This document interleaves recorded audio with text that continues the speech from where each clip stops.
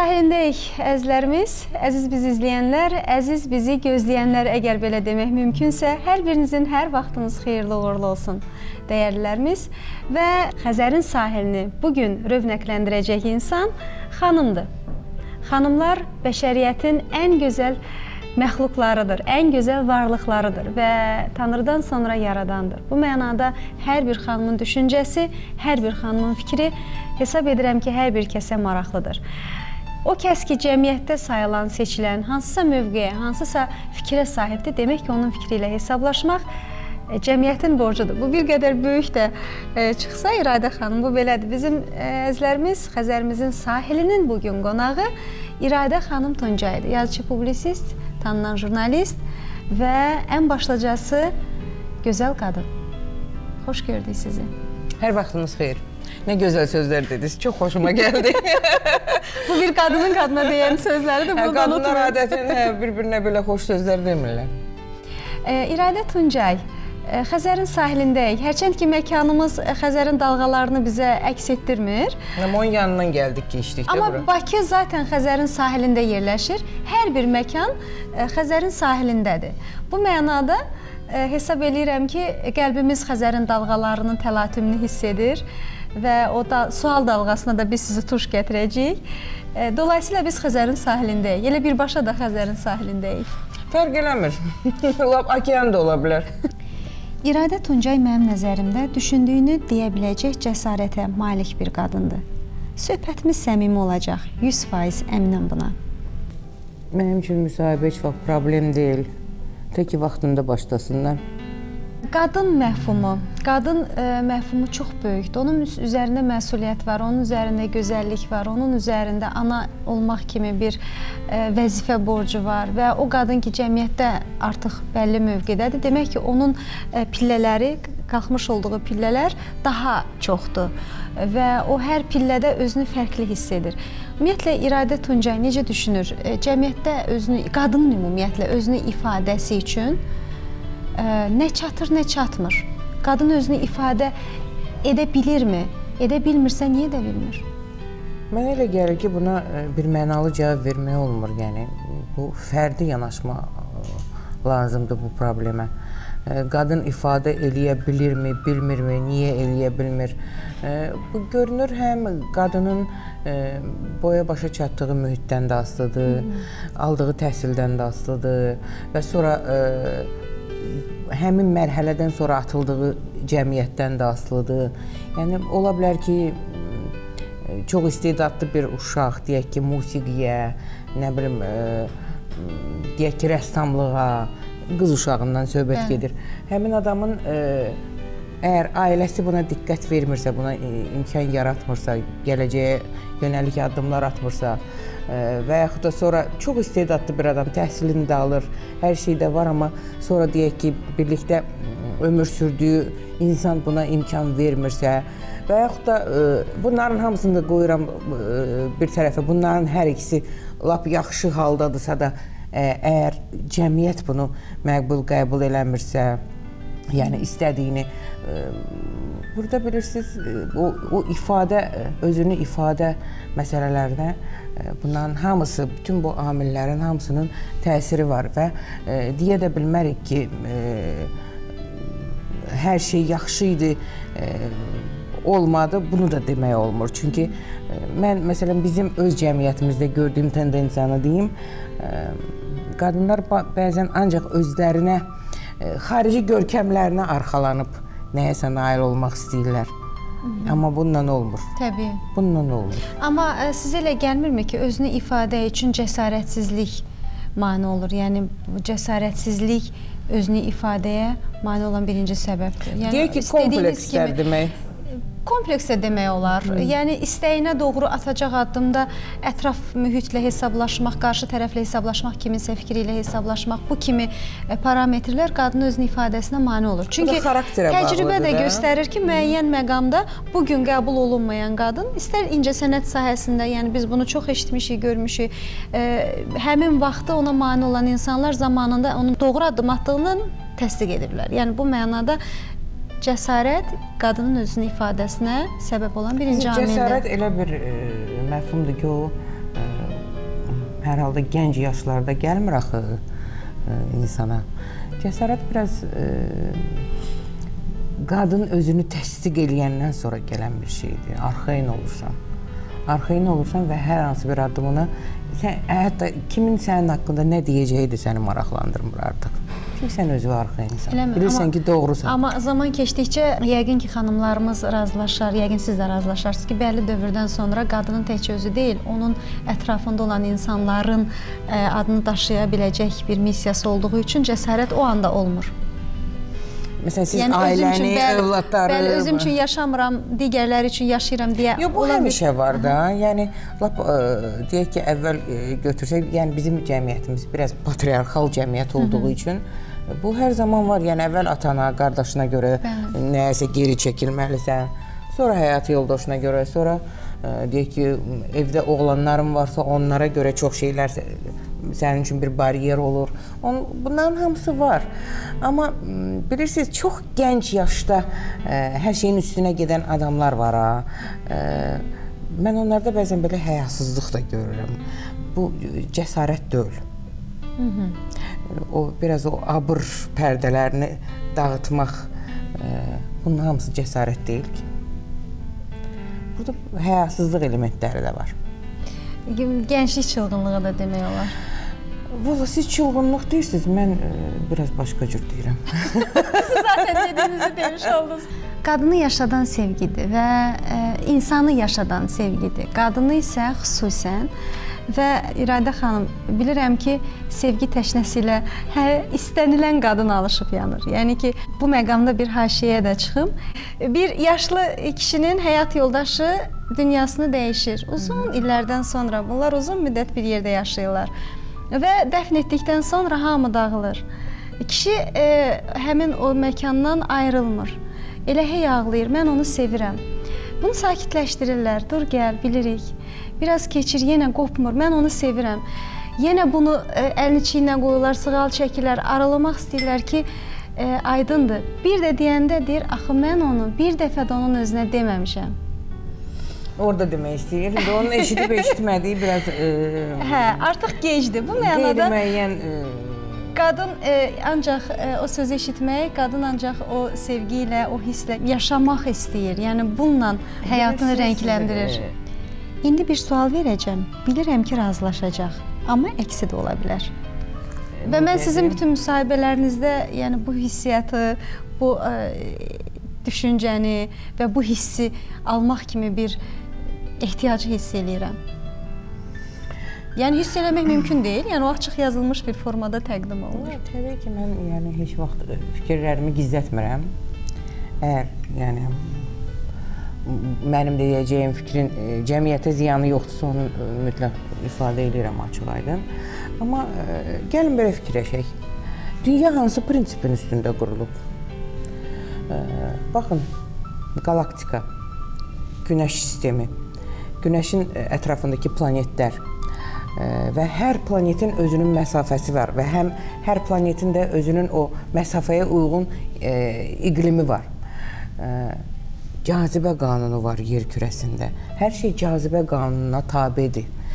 Cazibə qanunu əslində e, özü ilə böyük sevgi deməkdir. Allah dünyanı sevgi prinsipi üstündə qurub. E, təsəvvür eləyin ki, bir azacıq e, o planetlərdə yerindən tərpənmə, ə, o azma deyirlər, planetlərin azması olsa, necə bir dəyişiklik ola bilər. Yəni biz də e, onun əsasında yaşayırıq. Fikir verin, tutalım 1000 e, adamın içində sən bir adamı görüb bəyənib sevə bilərsən və o min adamın içində heç kim sənin gözünə dəyməz, ancaq o bir adamın ə, cazibəsi səni çəkəcək ona doğru. Ə, bilməm kimya dərsindən yadınızdadırmı? O ə, elementlərin valentləri var, elektronların çatışması, bir atomun oradan buna keçməsi. Bunlar hamısı insan insan da kimyadır da. Görün nə qədər kimyəvi element var bizim tərkibimizdə. Bax o, o bax bu çox mürəkkəb fizioloji, fiziki, kimyəvi proseslərdir. Onlar hamısı çevrilir bir şəkildə olur mənəvi proseslər və ə, biz onu eşq adlandırırıq, sevgi adlandırırıq. Nizaminin məşhur beytidir. Kainatda hər şey cəzbə bağlıdır. Filosoflar bunu eşq adlandırır. Yəni Allah özü, yaradan özü dünyanı sevginin üstündə qurub. Siz təsəvvür edin ki, evdə öz qadın kimi öz mətbəxini istəsiz və nə isə bir tutan bir qənd qabından xoşunuz gəlmir. Heç onu orada qoymaq istəmirsiniz. Sevmirsiniz onu. Gözünüz görmək istəmir. Sonra nəsə bir sındırırsan, atırsan ki, gözüm görməsin. Hətta əşyalara sevgi Hətta ə, e, nə bilim, e, gəzdiyin ə, e, otaqlara sevgi, getdiyin küçə, gördüyün binalar, ə, məsələn, vətən sevgisi deyirik. Vətən sevgisi nədir əslində? Görməyə öyrəşdiyimiz ə, o hər gün görmək istədiyimiz, hər durursan, əl üzünü yursan, o əl üzüyana sevgi ilə yanaşırsan. Təzəsini qoyanda uzun müddət ona öyrəşə bilmirsən. Şəhəri tutalım, gedirsən görürsən ki, sökülüb, dağılıb, köhnə xatirələrin dağılıb, e, o yenilərə öyrəşə bilmirsən. Öyrəşənəcən bir xeyli vaxt keçir. E, bəzən deyirlər ki, insanlar arasında da sevgi sonra öyrəşməyə e, keçir də. O çılğınlıq keçir, o hisslərin ə, qabarması, çəkilməsi və yaxud da nə? Bəzən də olur ki, o öyrəşmənin içində bir böyük fırtına yaşanır insanlar arasında. O fırtına bəzən insanları ya ayrı-ayrı sahillərə ata bilər və ya da daha çox bir-birinə sarılmağa məcbur eləyər. Bunlar o qədər mürəkkəb proseslərdir ki, yəni biz e, onu tam dərinliyi ilə dərk eləyə bilmirik və ya dünən çox sevdiyim bir adama sabah çox dərindən nifrət eləyə bilərsən. Bunlar bilirsiniz Yəni bəlkə e, bizim iradəmizdən kənar baş verən şeylərdir. Mən bunun izahını da tapa bilmirəm. Həm də onun e, energetik yəni yolları da var, energetik təsiri də var. Bəzən olur ki, enerjisi bitmiş münasibətlər olur Bəli. insanlar arasında, elə davam eləyir də nəyinsə xatirinə. E, ümumiyyətlə e, psixoloqlar deyirlər ki, insanlar arasında o çılğın münasibətlər 2-3 il davam edə bilər. Ondan sonra o keçir adi, e, sabit münasibətlərə. Tutalım evliliklərdən danışırıqsa, e, insanlarda 40 yaş sindromu deyilən bir şey var. 40 yaşından sonra e, həm istər kişidə, istər qadında e, qəribə proseslər baş verir. Həm fizioloji proseslər, həm də başqa mənada proseslər. O proseslərdən də salamat çıxmaq məsələsi var. Və statistika göstərir ki, ən çox evliliklərin, o nikahların dağılması bir ilk illərdə olur. İlk 5 ildə, bir də 40 yaşından sonra. 40 yaşından sonra çox dəyişmələr gedir insanların beynində, buna görə, psixologiyasında. Yəqin, yəqin ki, buna görə e, evlilik e, arası evlilər, evlənəndə cütlüklər arasında yaş fərqi biraz çox olmalıdır ki, biri keçmiş etabı, digəri onu Yox, biraz kompensasiya etsin. Qarşılıqlı olur o. O, o, birisi ümumiyyətlə resept vermək olmur. E, Bəli, individual hə, xarakter daşıyır. Yəni istənilən istənilən e, nə qədər insan var, o qədər həqiqət var. Təbii, nə qədər insan var, təbii, o qədər yalan var. E, yəni bu mövzu Freud heç 30 il nədir ki? 30 il araşdırdı qadının nə istədiyini, istədiyini bilə, bilə bilmədisə, bilmədi. yəni heç hesab eləyirəm ki, zamanında ayıldı. O hər ömrünü də sərf etsəydi tapa bilməyəcəkdi. Planetdə onun öz yolu var, özünün trayektoriyası var, hardan hara getməyi var. Elədir. İndi soruşumu mən qalstuk niyə taxıb sinəsinə? Qara paltarın üstündə qırmızı çox maraqlı görünür. Məsələn, mən bayaq gələndə e, diqqət elədim ki, qalstuk oxşuyur yaxanızdakı bu aksesuar. Niyə qalstuk? İradə xanım, bəli, bu qalstukdur və bu məxsusi sizin üçün e, görüşə hazırlanıb bu, aksesuar və bunun bir anlamı var. E, kişi kimi qadındır ifadəsi. Biz e, ümumiyyətlə kişilərin bir sıra yəqin ki, kişilərin əfvinə sığınaraq deyəcəm ki, bir sıra geyimlərini istifadə edirik, onların köynəklərini, onların ə, şalvarlarını biz istifadə edirik geyim kimi. Amma onlar bizim hansısa aksesuarımızdan istifadə edəndə biz ona qıcıqlanırıq. Biz yox, cəmiyyət bir mənalı qarşılamır. Bunun mən istərdim bax sizinlə onu daha böyük anlamda təhlil edək ki, biz ə, qadında kişi kimi xüsusiyyəti görmək istəyirik, amma kişidə qadın xüsusiyyətlərini görmək istəmirik. Və kişi kimi qadındır ifadəsi nə qəribədir ki, ə, çox qadınların xoşuna gəlmir. Onlar öz zərifliklərini görmək istəyirlər, o qiymətlərini görmək istəyirlər. İradə Tuncay ə, kişi kimi qadınlara necə baxır və özünü kişi kimi qadın hesab edirmi?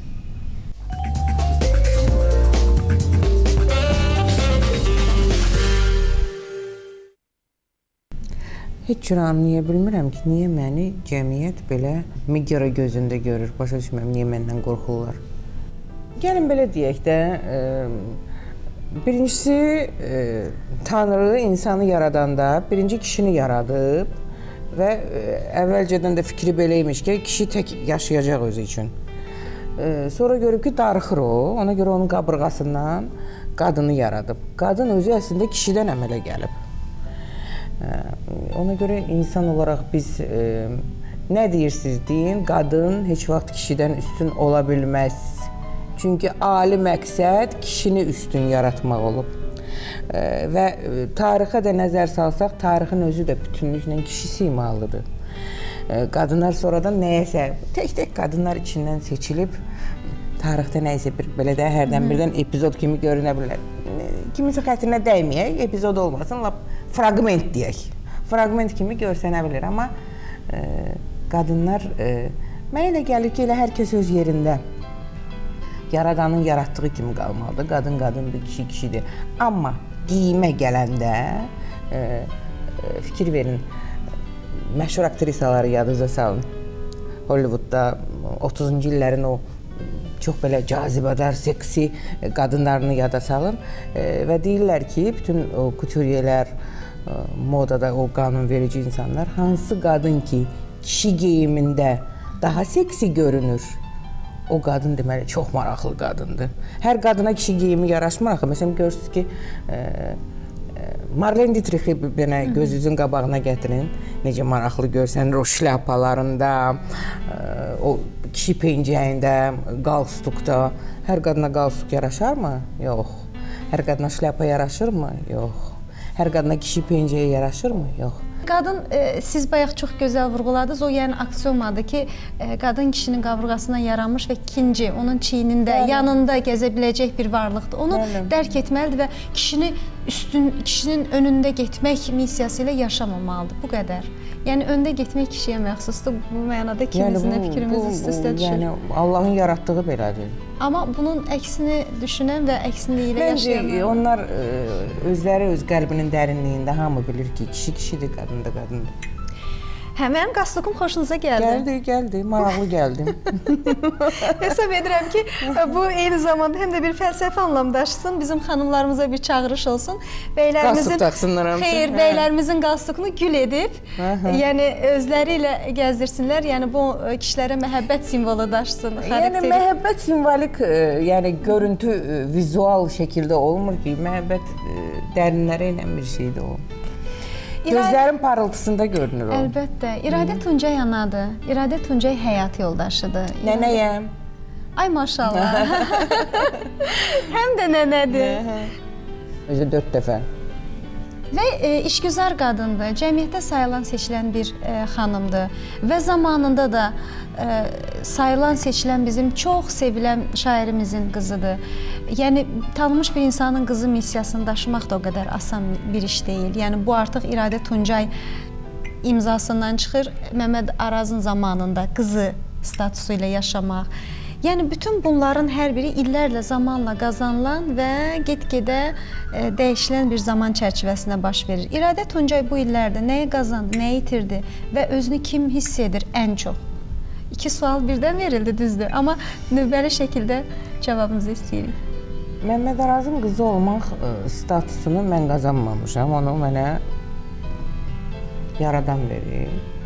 Yəni bunu mən... heç cürə dəyişmək olası deyil.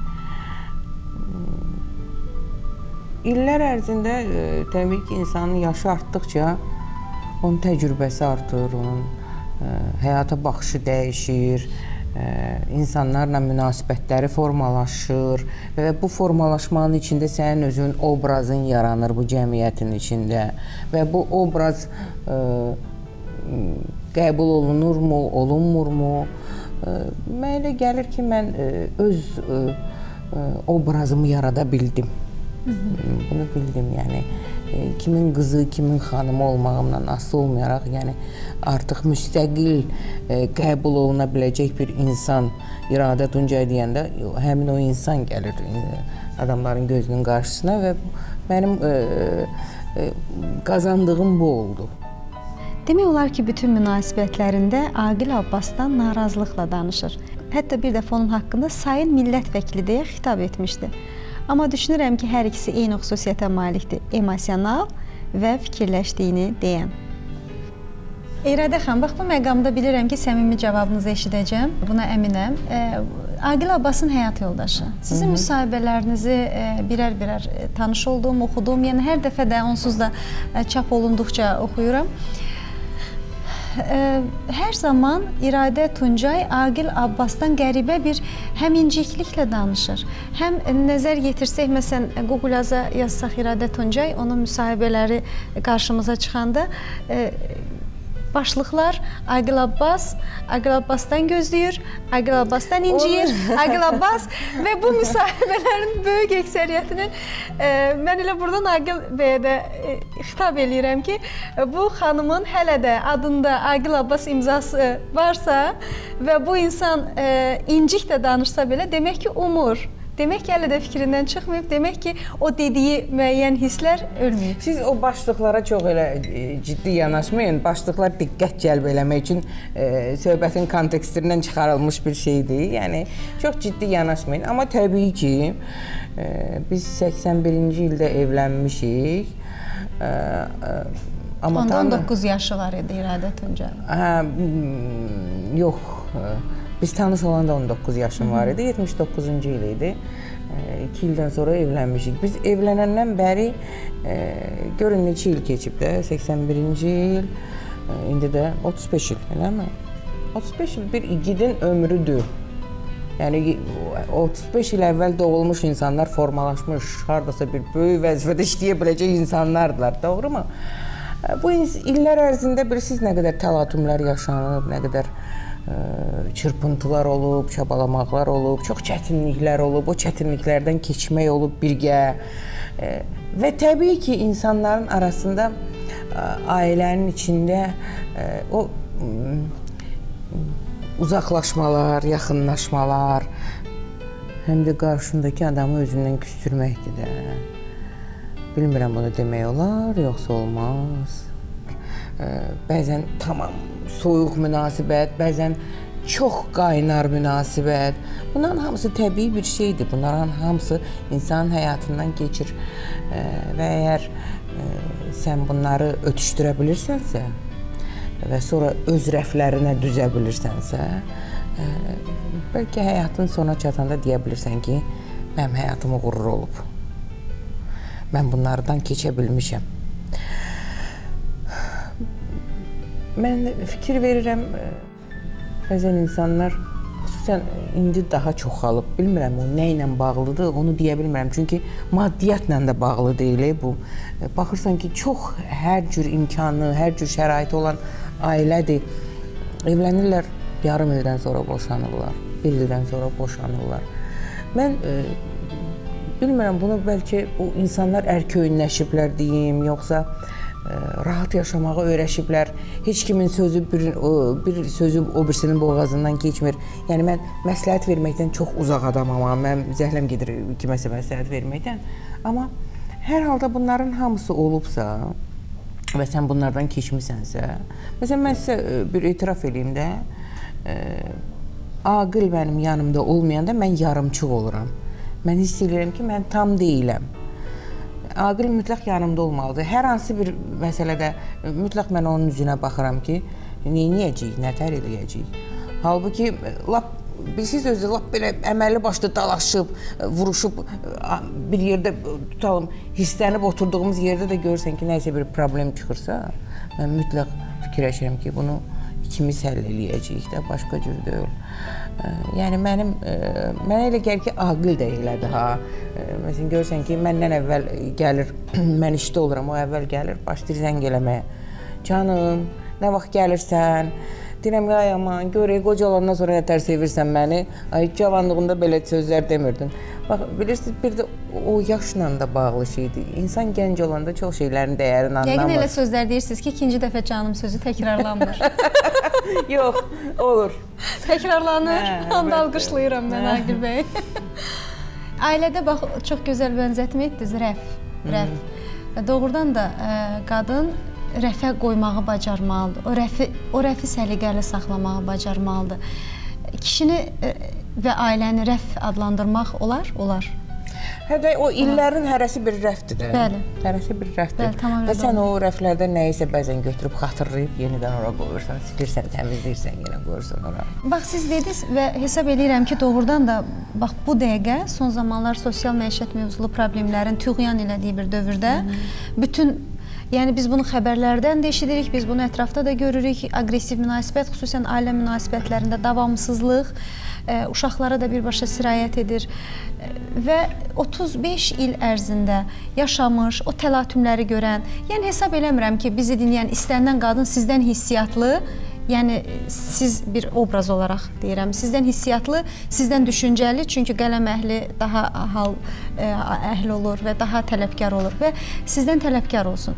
Demək ki, əgər bu xüsusiyyətlərə malik insan ailəsində rəfini səliqəli saxlamağı bacarırsa, istənilən qadın bunu bacara bilər.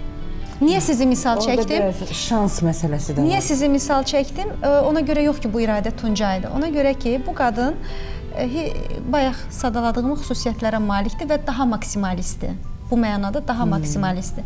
Amma gəlin düşünək elə o qədər maksimalist olmayan xanımlar belə öz həyatından narazıdır dözmür və s. E, İradə Tuncay. Yox, indi bir, bir şey var, o qarşılıqlı güzəştlər də var. Bəs, Axı biz görünür onu eləyə bilmişik. Bəlkə başqa yerdə alınmır Elə mən o. o sualı sizə vermək istəyirdim Aha. ki, e, İradə Tuncay bu maksimal e, qarşı tərəfdən gözlədiyi maksimal hisslərə cavab aldı da, almadı da, yaşadı da, sevindi də, ağladı da, güldü də. 35 ili hansı xüsusiyyətə görə tamamladı? Bu da individualdır, yoxsa bunun ana xətti var? İnsanların e, bir yerdə yaşamasının o qədər səbəbləri var ki, burada təkcə sevgi yox, narazılıq yox və yaxud da ayrılmalıqlarının da səbəbləri çoxdur. Bunu izah eləyə bilmirəm. Yox, bu da individualdır. Bilirsiniz, e, ola bilər ki, bir qadın hər şeydə güzəştə gedir, amma qarşısındakindən onu görmür. Hı -hı. Yəni, e, ümumiyyətlə heç bir insan süddən çıxmış ağ qaşıq deyil. Hamının o qədər e, eybəcər xasiyyətləri də var ki.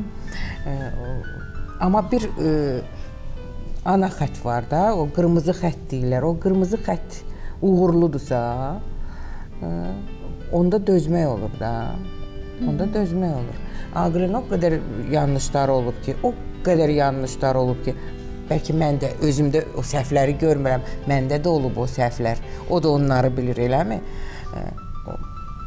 Sadəcə o yanlışların yanında da o qədər müsbət şeylər olur ki. Kompensasiya edir. Kompensasiya edirlər onlar bir-birini. Yəni deyir, 100 e, acını udursan bir şirinin xətrindən başa düşürsüz. Bu var axı. O dağıtmaq ən asan şeydir. Ən asan şeydir dağıtmaq. Amma onu qurmaq Əgər sevdiyin insana sevgini fədakarlıqdan başlayırsansa, bunun sonu nifrətlə nəticələnir. Bəlkə hamı da elə deyil. Aşırı dərəcədə sevgi insanı məhvə doğru aparır. O şəfqət türkülərin belə bir ifadəsi var, şəfqət zəhərlənməsi. Yəni şəfqətdən də insan həqiqətən zəhərlənir. Suyun nə qədər çox içiləs, içilməsi insana ziyan verirsə. Siz yəni sevginin çoxluğu ziyan eləyər? Sizcə aşırı dərəcədə sevgi fədakarlığının sonu sonu nifrət ola bilər? O nifrət və sevgi anbaan dəyişə biləcək şeylərdir əgər siz ailəni nəzərdə tutursunuzsa. Kənarda onu deyə bilmərəm. E, tutalım insanlar e, bir-birinə aşiq olurlar, görüşürlər. Bu nə qədərsə vaxt çəkir və sonra e, bir addımdır da o sevgi ilə nifrət arasında. Bu da ola bilər. Amma ə, bilirsiniz, ailə o qədər mürəkkəb və həm də sadə bir mexanizmdir ki, o orqanizmdir, orqanizm, canlı orqanizm. Ailədə onu bəlli bir çərçivələrin içində plan əsasında yaşamaq olmur. Demək ki, onda çağırış xanımlarımıza çağırış budur ki, yenə qeyd etdiyim kimi sosial məişət mövzusunda baş verən o proseslərdə gərginlik yaşayan xanımlarımıza ki, qırmızı xətt, ana xətti tapıb o xəttin ətrafında birləşmək, birləşmək, birləşmək. Başqa, yəni ki, o xətti dağıtmaq, e, yaxşını pisə qurban vermək olmaz. Bəzən olur ki, baxırlar kinolara, seriallara, filan kəs boşandı, filan kəs getdi. E, bilirsiniz, həyat serial deyil serial deyil, özdə ə, biz hər halda hansı cəmiyyətdə yaşadığımızı da nəzərə Bəli. almalıyıq və bu cəmiyyətdə onu necə qarşılayırlar və sən sonrakı həyatını necə qura biləcəksən, o da bəlli deyil. Yəni söhbət bundan gedir. E, İradə xanım, tanımışlardan biri söyləyib ki, mənim zarafat etmək üslubum həqiqəti söyləməyimdir. Hı -hı. Yəni dünyada ə, e, bundan gülməli heç nə yoxdur deyə qiymətləndirilir. Həqiqəti söyləmək, hə, həqiqəti söyləmək. Bəlkə ağlamalıdır o. həqiqəti eşitmək istəmirəm. Mən o sualı vermək istəyirəm ki, bu bu fraza çox marağıma səbəb oldu. Doğrudanmı ə, e, həqiqəti söyləmək qeyri-ciddi qəbul olunan bir sözdür? Həqiqəti söyləyəni ciddi qəbul etmirlər. Yox, nə danışırsınız? O adama bağlıdır.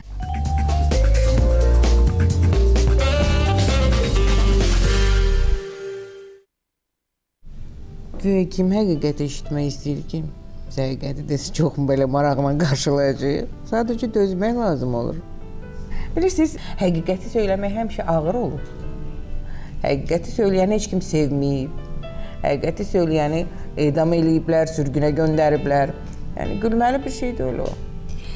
Elə mən də hesab elədim ki, ə, e, bu bu fikirdə biraz paradoks var. Hmm. Elə hesab elədim bax bu fikri müzakirə etməyə dəyər. Aristotelin fikrincə isə o adamlar güclü, dəyanətli, zəkalı adam hesab oluna bilər ki, o adam öz-özünə qalib gələ bilsin. Hə. Aha. Hə. Öz istəklərini idarə edə bilsin. E, Nəfsinə qalib gəlsin. Bəli, Aristotelin hesab etdiklərindəndir Iradə Tuncay. Mənə gəlir ki, faiz nisbətini götürsək, yəni hardasa belə ki 70% var hə. 70%. 70% Nə qarşısında acizdir İradə Tunca? Oy. Etiraf edəcək. Yaxın dərəcədə. adamlarımın sevgisi qarşısında, yəni e, balalarımın, nəvələrimin, yəni mən məsələn atamı çox sevərdim. E, yaxın adamlarım məni aciz eləyən həmişə. O sizin dediyiniz o görməyə öyrəşdiyiniz o dəmir iradə orada olur, nə bilim. Şüşə. Yəni ki, e, təbii o artıq insanın əhatəsini bayaq siz alışdığınız, hətta alışdığımız o su kranına belə, Hı -hı. E, yəni insan o ətrafında olan gördüyünü, alışdığını itirmək istəmir. Bu bir mənalı. İradə xanım, çox maraqlı həmsöhbətsiz və e, İradə Tuncayın olmazsa olmazı, yəni barışmadığı nədir? Yalan. Yalan qəbul eləmirəm. İstəmirəm mənə heç kim yalan danışsın. Düzünü desin, mən onu həll eləyərəm. Bağışlayaram, amma yalandan o qədər axmaq şeylər doğur ki, o qədər e, faciələr əmələ gəlir ki, mən yalanı qəbul eləmirəm. Yəni Amma yalanla hər addımbaşı qarşılaşırsan. Təbii insan ə, e, yaşadığı ə, e, ömrü boyunca təbii ki, yalan danışır. Amma baxır nəyə xidmət edir, necə yalanardı, hansı miqyasdadır. Amma ə, e, baxırsınız, baxın elə cəmiyyət içində də gecə-gündüz yalan danışırsansa, bu çox əks reaksiya doğurur. E, yaxşısı budur düzünü deyən. Amma o siz dediyiniz e, bayaqki qəbul olunmayan, bir mənalı qəbul olunmayan həqiqətə bərabər tay tutulub düz danışan adam qəbul olunur? Bilirsiniz, o onun e, necə deyilmə yolları var da. Necə deyilmə yolları var. Məsələn, e, düz sözü elə demək olar ki, onu çox rahat-rahat belə lap zəhər də olsa içirdə bilərsən deyilmə yolları var. Amma yalan qəbul eləmirəm. Bilirəm ki, bundan əziyyət də çəkirəm ha. Bundan əziyyət də çəkirəm. saxtalığı qəbul eləmirəm. Lazım deyil mənə. İradə Tuncay e, bu gün bu gün, bu saat, bu an, bu yaşda, bu mövqedə dönüb arxaya baxanda ən çox təəssüf elədiyi nə olur? Təbii ki, mən təəssüf elədiyim Yəni canına isti tər gələ biləcək də- dərəcədə, istənilən yerdə, gülüşünü xatırlayanda ağzında donduracaq dərəcədə təəssüf hissi keçirdəcək bir. var, var onlar, onlar amma çox özəldir. Yenə deyiləcək deyil. Amma var. Var, var, var, var, əlbəttə var. O dərəcədə var ki, İradə Tuncayın gözləri doldu. Bu dərəcədə. Var. İradə xanım. Bəs e, eşidəcəyi, eşitmək istəyəcəyi, görmək istəyəcəyi, lakin görə bilmədiyi o da var? Hələ görə bilmədiyi. O yəqin e, bütün insanlarda olur. O e, biraz ona natamam e, yanaşma cəmiyyətin e, hansı şəkildə hansısa bir problemi həll eləmə tərzləri və yaxud da e, məsələn mən çox arzu edirəm ölkənin e, huzur içində, sabitlik içində yaşamasını.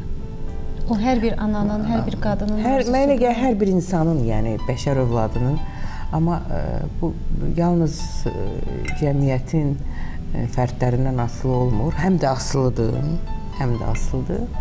Bax bunları görmək istəyirəm mən. Ə, o ə, indi bəzən son vaxtlar bu müharibələr ə, çoxalıb axı şərq dünyasında, şərq aləmində. Onları gördükcə bu məni çox qorxudur məni. Qorxudan ən böyük şeylərdən biri müharibədir. Çünki biz müharibəni yaşadıq, qaçqınları gördük. E, torpağımıza bomba da yağdı. Bunlar e, böyük faciələrdir. Bax məni e, bu gün e, ən çox qorxudan budur.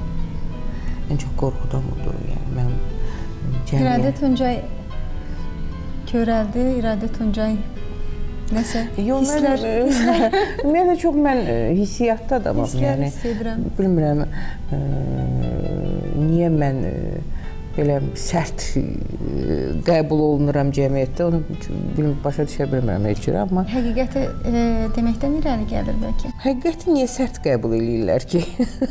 hə, bəzən mən insanlar haqqında düşündüyümü onun üzünə deyə bilərəm, amma hər halda arxasında ona quyu qazmıram həmin adama. Mən quyu qazmıram. Amma düzünü deyirəm ki, o həmin o səhvləri, əyriləri düzəltsin. Hər halda mən çalışıram obyektiv olmağa. Yəni Biz ona inanırıq. E, Çünki səmimiyyət impulsunu hiss edirəm mən. E, Və e, inanın ki, hazırladığım sualları öncədən bu gün vermədim.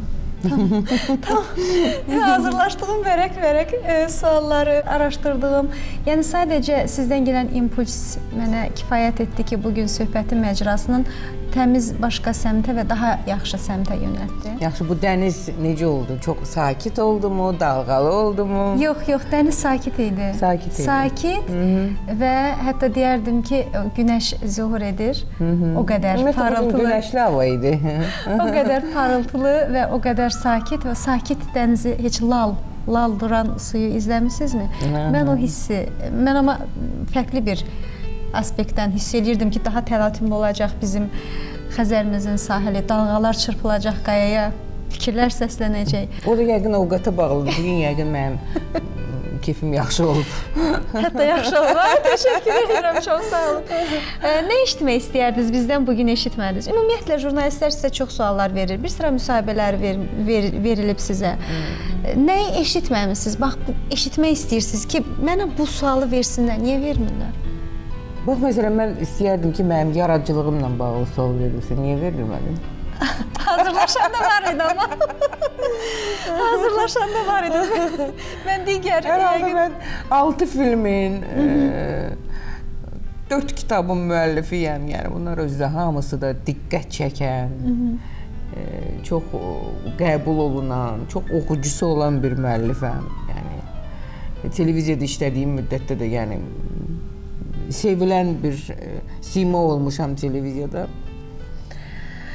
Ədalət qəzetinin baş redaktorusunuz. Ədalət qəzetini artıq 10 Bir ildir mənə televiziyadan aralanandan sonra.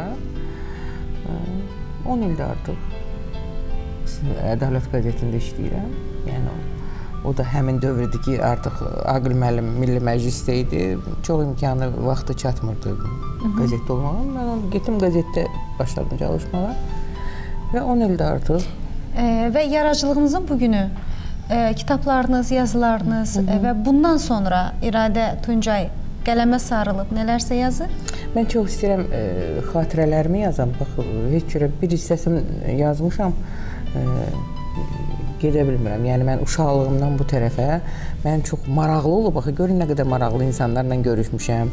O böyüdüyüm mühit, Yəni bunların hamısı çox maraqlı olub. Sovet dövrü, onun ə, mənim gözümdə, yaddaşımda qaldığı ə, ə, xatirələr. Bunları yazmaq istəyirəm, hələ ki yaza bilmirəm. E, hesab edirəm ki, e, bundan sonrakı həyatın da marağı o qədər sizi belə e, ehtizaza gətirəcək ki, siz e, zənginləşdirəcəksiniz o memarı. Səmimi və xoş bir görüş oldu. Hər halda mən razı qaldım. Daha onu bilmirəm. İradə xan, bizə verilən ayrılan zaman başa çatdı. Mənə artıq işarə edirlər ki, zamanımız qutarır. Və mən sizə təşəkkür eləyirəm. Mən də sizə təşəkkür Günün edirəm. yorğunluğu çıxdı. Buna iş demək olmazdı. Mən də sizə təşəkkür edirəm. Çox xoş oldum. Qarşılıqlıdır. Qarşılıqlıdır. Çox sağ olun və ə, əzizlərimiz məhəbbət üçün ağıllı ağıllı məzmun şam üçün, bax bizim ətrafımızda yanan bu gözəl şam üçün yağ qədər önəmlidir. Bu mənada ağıllı məzmuna, gözəl, dəyərli məzmuna köklənən, istənilən bir ə, əhatənizdə olan hər bir şeyə dolğun, düzgün və ağıllı məhəbbət diləyi ilə hələlik söyləyirəm. Görüşmək ümidi ilə Allah amanında.